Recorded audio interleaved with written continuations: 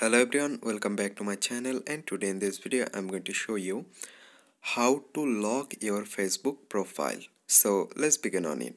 So first of all what you need to do just open on your facebook application. So here you can see this is my application open on it and click on the top right corner your profile icon.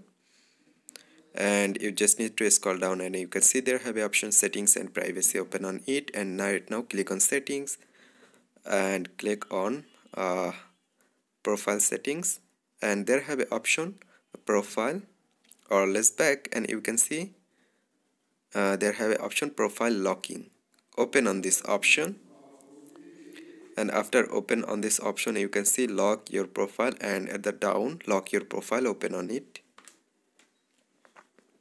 And then confirm it ok and if you re refresh your uh, profile and you can see your you locked your profile.